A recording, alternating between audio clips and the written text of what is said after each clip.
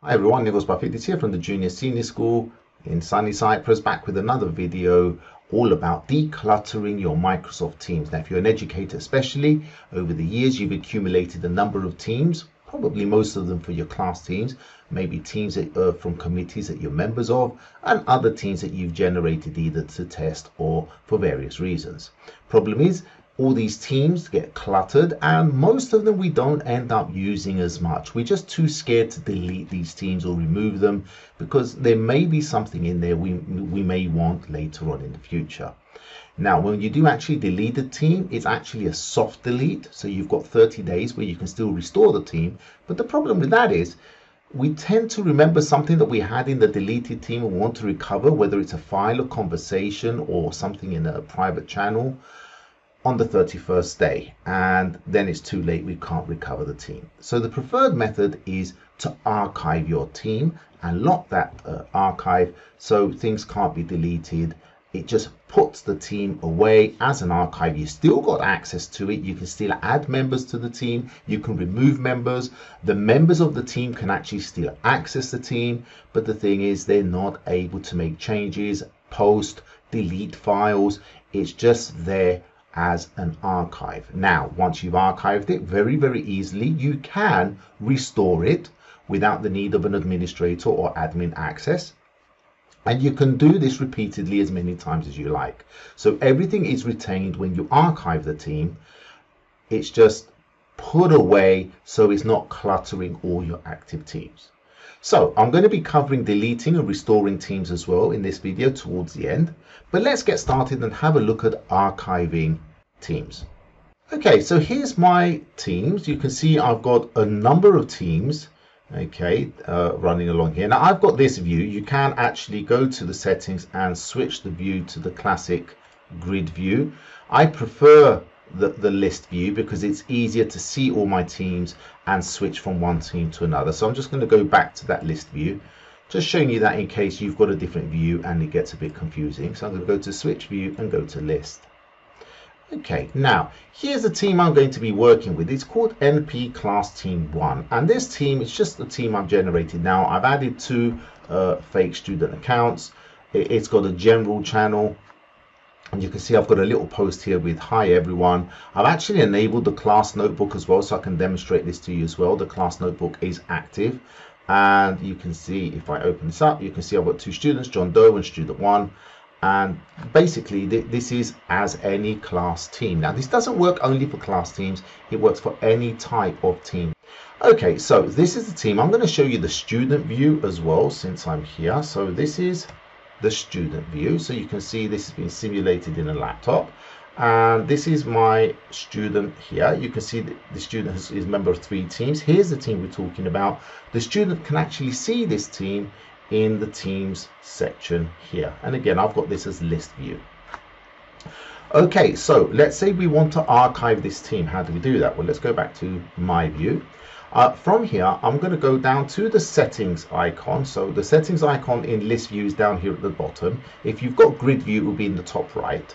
So I'm just going to click on here and go to manage teams. There we go. Now here you've got a list of all your teams. And if you look at the bottom, I've got my archived section as well. So that's where I've archived some teams already. And this is where you will go and restore an archive team if you want to restore it later on. We're going to do that as well today. Okay, so let's first of all, let's find my team. Here's my team, NP class team one.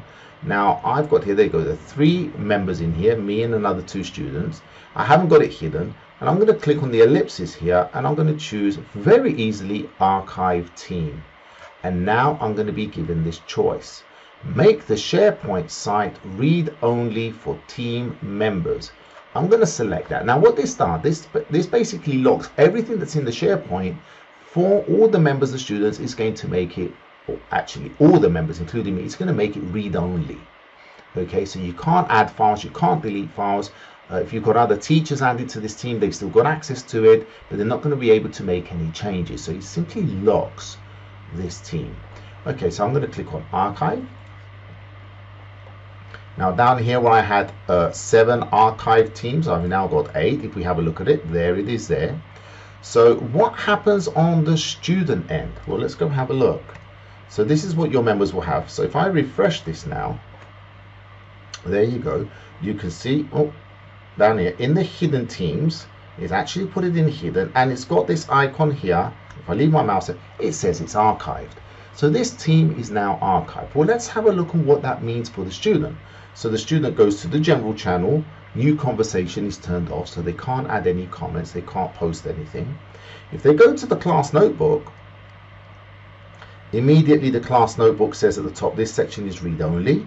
If they go to their own personal section, and that's basically where I am now in their class notes, which is normally read and write access for students, this again is read only. So if you've if they've handed in any homework, anything that you give them feedback on in their own section, their homework, the class notes, all of that is locked. They cannot change it, but they can go back and review it whenever they want. Okay, so let's go back to Teams for the educator and restore the team. So this is the educator's view here. Normally you would be, as soon as you open Teams, you're going to go to the Teams section here to find the team which is archived, the best way to find it, you can find it in the hidden items as well, sometimes but not always. So the best thing and the easiest way to find your archived teams is to click on the settings cog here, go to manage teams, and down here where you've got archived teams, if you click on that, you can find all the teams which you've had archived. Here's my team here. So I'm going to click on the ellipses now keep in mind from this area you can also open your archived teams. So if I click on this now, it actually opens that team. I can actually see everything. I can go to my files, so on and so forth. So that's where you would go and find your archive teams and then you can open them and review them and go find any files or assignments that you want. So if I go back to where I was, so I'm going to go back to manage teams, go to my archived section here, and now I'm going to click on the ellipses and choose restore team. Now clicking on this will automatically restore the team both for me and for all the members. But the one thing I'm going to do also here is I'm going to click on the show hide icon because if I don't then it's going to have this team in the hidden section I'd have to remember to go and find it in the hidden section and then make it click on it so it actually shows it to unhide it but I can do that here automatically so I'm just going to click on that there you go. And now if I go to my teams, it's not hidden, it's at the top. You can see that the icon for archived has gone. My general section is here. New conversation is enabled. My files are intact and everything is there. Okay, so let's just go have a look and see what it looks like for the student. So on the student end, you can have a look here and you can see that if I, that's where it was hidden. Okay, so there it is. The archived icon has vanished. I can click on the ellipses and make it show, so it shows it in my list here. If I go to posts now, you can see new conversation is enabled. So I can just go, hello. Okay, I can post, I can reply, I can see the files. And if you look in the files section now, this uh, PDF document is actually in uh, read and write mode. It's not just read only. You see the icon here for read only has gone. So I can click on this, edit it, I can delete it, I can add new files, but the class materials uh, folder has retained its permissions and that is read only for students. Okay. And that's the way the class materials section works anyway. In the teacher area, obviously, it's not read only, it's unlocked it because the teachers can add material there. So that's how we can restore an archived team. The, the good thing when you archive your teams is you can actually find assignments from archived teams. So when you go to assignments, you're going to assign a new assignment and you're going to click on um, create from existing, it will actually show your archive teams as well and you can find the assignment from there. So that's, that's another reason not to delete your teams and to archive them instead. Okay, so the next part is going to be about deleting a team, how we can delete a team and how we can restore a deleted team providing we are within the 30 day period.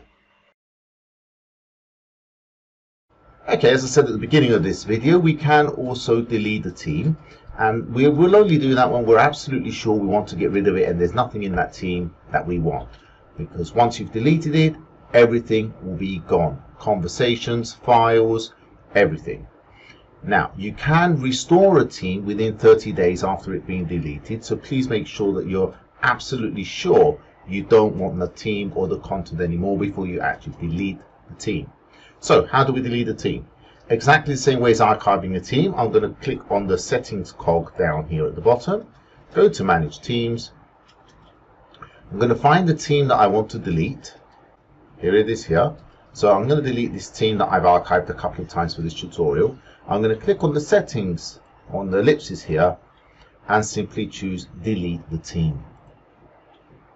Now, you get a, a, confirmation that you have to tick so you can proceed. Um, you understand that everything will be deleted. I'm going to check that and click delete team. Now that team has gone.